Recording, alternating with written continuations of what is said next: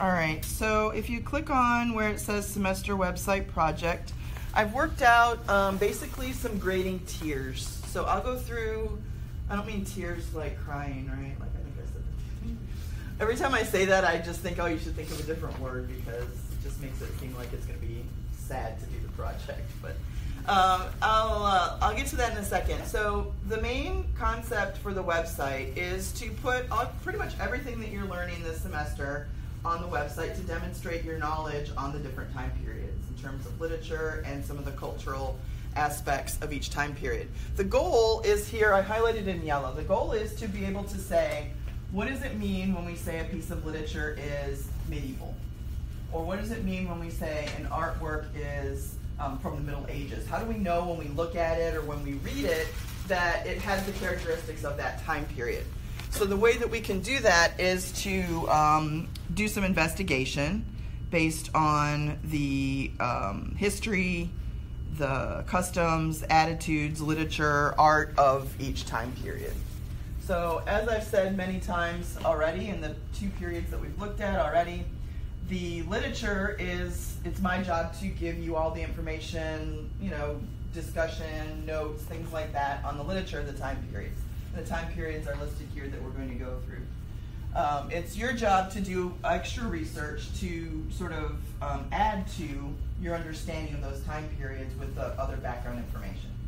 So that's why I've been giving you time in class to make those notes. I did start to look at your notes um, that you turned in last night. I think I graded five or six of them, and I'll show you where you can find the notes on, um, and the feedback that I'm giving you on those in just a second. So the goal here is to create a website that compiles information to identify key characteristics of each of the literary time periods that are listed there. I thought we just shared it with you. What? Like the notes. Right.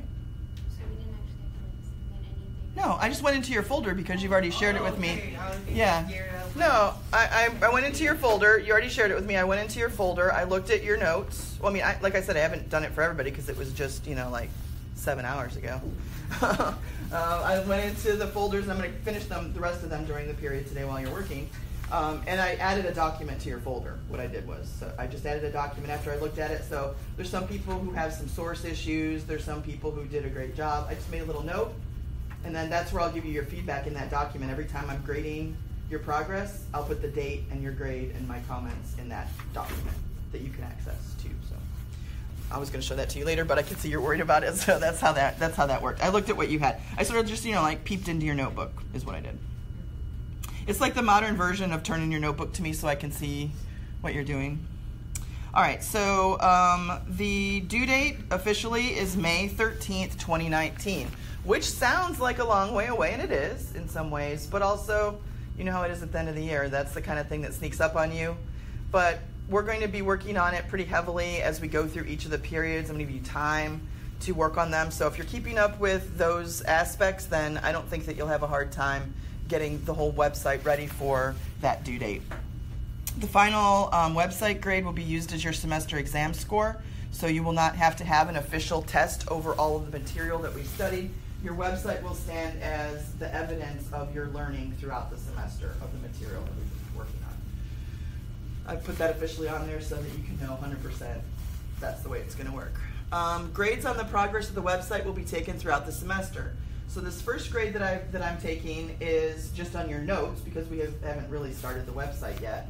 But later on, as we go through the semester, I envision that we'll have a few quizzes and things like that over the readings. But um, the majority of your other grades will come from being at a certain point and having completed a certain amount of tasks, an amount of pages on your website at a certain date.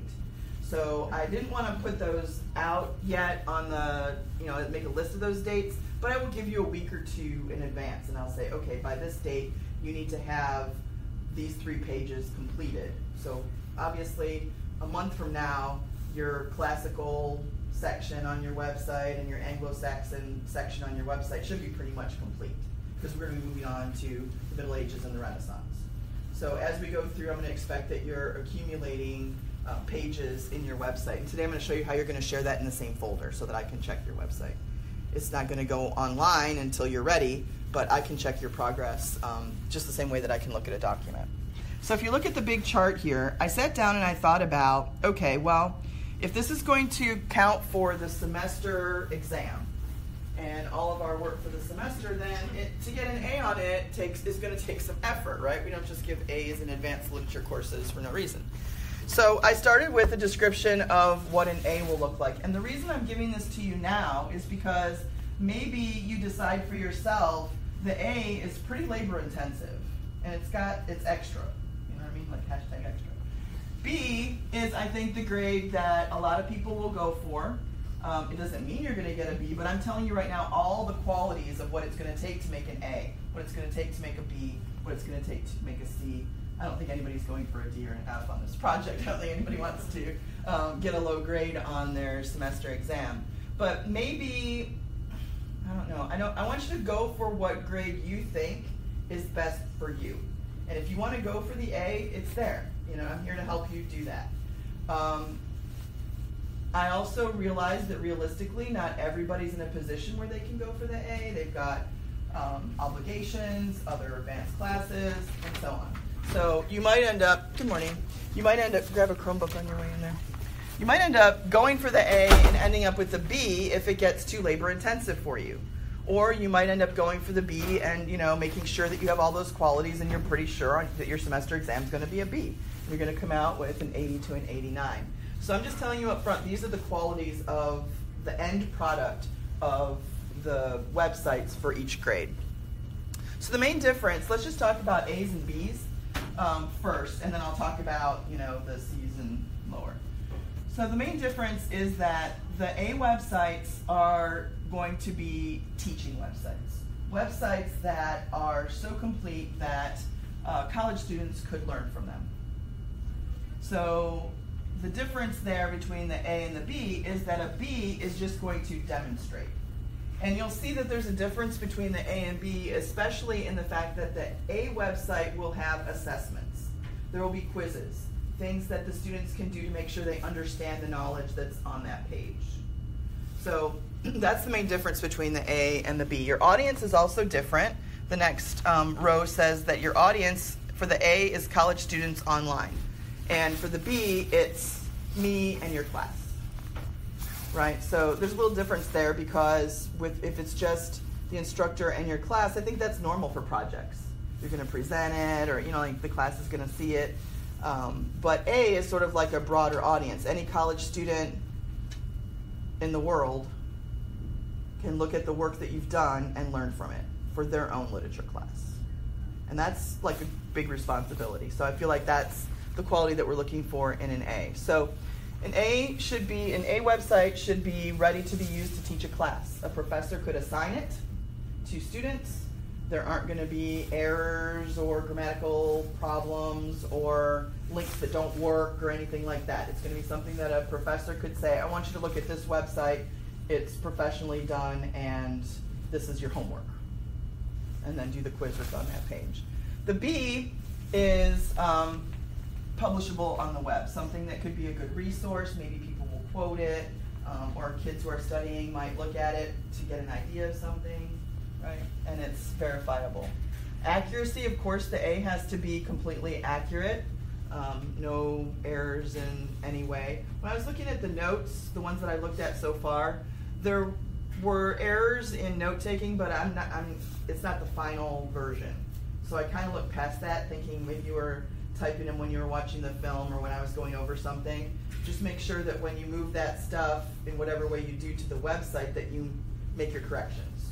Right? So as we're getting closer to the end of the semester, you're going to need to proofread. You're going to need to have um, me check it for you or have somebody else, another set of eyes on it so that you can make sure that it's valid because even the B needs to be um, only negligible minor problems with facts, examples, or grammar, or formatting, or any of that stuff. The A's will be basically perfect and combed over. Continuing down with the A's and B's onto the next page, thoroughness. So the um, most thorough A will be a website that explains all the key characteristics. The characteristics are listed here at the top on the first page for you on the left literature, development of the English language, art, history, customs, attitudes. Those are the characteristics. because we're going to apply all of these to each one of the time periods. So obviously the website has to deal with all of those things for each of those periods. for each time period, there should be a description, factual information, examples, and multimedia support. So that means images. Maybe you're going to embed a video, and I can show you how to do that on the website. Um, diagrams, things like that, to make sure that whoever's learning from that website um, can understand it thoroughly. Uh, the B explains all key characteristics of all assigned time periods, but you can see that there is less of an expectation in terms of the content on the website. Where the A needed to have multimedia support, the B can have images and key links, like go and visit this website and take a look at it, you know, connecting them up to other information. The A is going to be more all-inclusive on that page. If that makes sense. Um, the next thing is documentation. This course from STC, they want us to use MLA. So you have to make sure that you cite everything in MLA format. You might decide to cite um, at the bottom of the page, flesh like with a footer at the bottom, and give your sources for each page that you're making in your website. Um, I think that would probably be most effective because if somebody lands on your web page and the sources aren't there, they might not know to look to another page to find your sources. You know what I mean? So we'll talk about that as it develops, but you do need to make sure that you're citing your sources and that the source material is valid. Um, there were a few issues with that here and there, and as I notice them, I'm going to bring them to your attention. The difference between the A and the B is, in terms of documentation is that um, this one has to um, easy access to gain source material, and um, this one, the difference is, uh, where did I put it? Effectively and properly cite in MLA so that, um, yeah, you don't need to necessarily have links here. You can just list it like a works cited at the bottom of the page. But this one, you should, as much as possible, link to the source so somebody could jump to that if they wanted to read the original place where you got that information. So it's always just a little bit more that's expected in the A, obviously.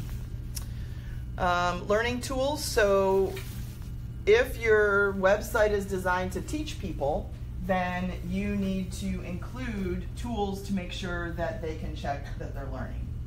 So that would include things like quizzes, writing topics, handouts, flashcards. You have to make them. You're not linking to somebody else's flashcards.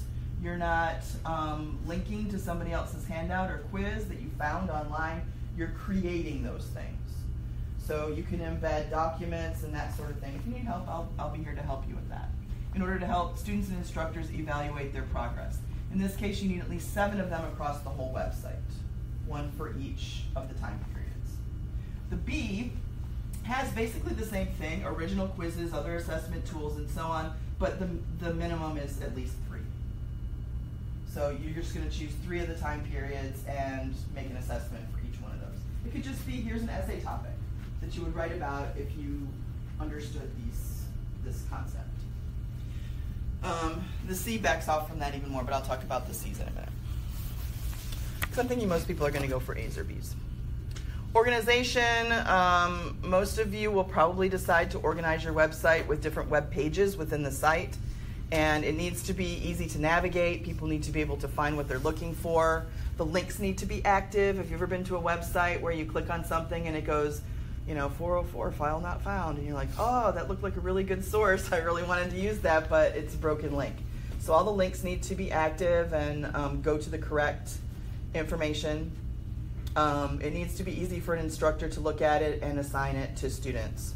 The B is a little bit different. The links need to be active. The website needs to be um, organized so that there's separate pages, but there's not this element because this isn't a teaching website and this one is. So this is more of an instructor focus. All right. The last one, the last quality, is aesthetics websites need to be attractive, they need to be um, efficient. So if it's sort of all over the place, then that's not helpful for people to learn. So the backgrounds and images and way that you set up your website needs to be effective. Um, it should be easy to find embedded media. and other elements that you're putting in there for students to experience. The design choices that you make to set up your website should enhance the ability of students to learn from that website, and color schemes and that sort of thing should be um, help with organization. So if you wanted to have a different color scheme for each time period, that way it's easy for people to see. You know, like how on the weblog I'll put due dates in red bold so that you could see those quickly. That's an organizational strategy to help you identify when there's something coming up that needs to be done and is due. So you need to make, you know, be conscious of the fact that if somebody's coming to this website and learning about this for the first time, the way that you set it up visually needs to help them. Uh, the B is similar. Uh, what's missing is the embedded aspect of any media that you embed, and um, I didn't put this part about viewing experiences enhanced by the student's design choices. So A is like you know the big heavy hitter, and then B is like the easier to do version of. Does that make sense? Are there any questions about the A's and B's before I talk about the C's and D's and E's? For me, in my mind, when I was creating this chart so that you'd have an idea of my expectations, I was thinking that maybe some people might go for the C, but I thought most people would probably go for the B or the A. Um, so the C might be something that if you get jammed up, it's the end of the semester, you didn't really keep up with your things, that you might end up with a C. So a C is different because the um, goal is just to report. You're just giving information that you learned over the semester, just like a report that you might do in a paper or um, you know a poster or a PowerPoint or something like that. The audience is just me because I'm grading it. Um, it's acceptable to prove some knowledge of the course material, but you might not put it on the web for people to learn from it. There might be some errors. I'm not saying you should go for that. Maybe some people who go for a B might end up with a C because they have errors or they don't um, look at the little details and the design aspect is lacking and that sort of thing. Um, the C has um, all the characteristics. I'm on the second page now with, um, let's see. I think this is thoroughness, yeah. So the C has all key characteristics of assigned time periods, um, and you don't even have to have links with the C, it's just images, examples, factual information. So basically, every time it's going down in the grade, I'm taking something off as a requirement in that category. D's and F's, in my mind, are unsuccessful projects. And I don't think anybody wants a D or an F on their semester exam. So I'm thinking this is what's going to happen by default if people don't keep up with their work or they don't end up being able to turn in a quality product. So I don't really feel like I need to talk about that because these are failure failure assignments. Um, this is what's going to happen grade-wise if I can't give it these grades over here. C's also, if we look at documentation, are effectively and properly cited. It still needs to be an MLA uh, if for a C. Because to pass this class, you need to use no show that you can use MLA. Um, you will include some kind of quizzes or assessment tools, but they don't notice that they don't need to be original for a C. So remember when I said if people are learning from your website, you have to create quizzes. It can be a, a Kahoot. It can be a paper with quiz questions. It can be, you know, there could be a lot of different ways that you could create an assessment.